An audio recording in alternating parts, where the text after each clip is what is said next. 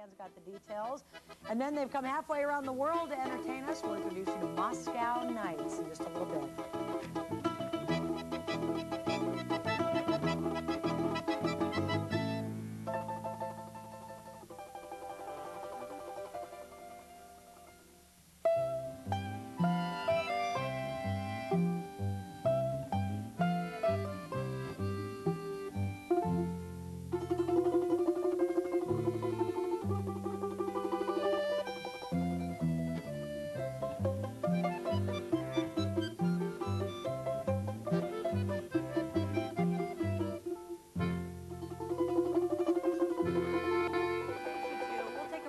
Up next, our next guests are prize-winning musicians from Russia.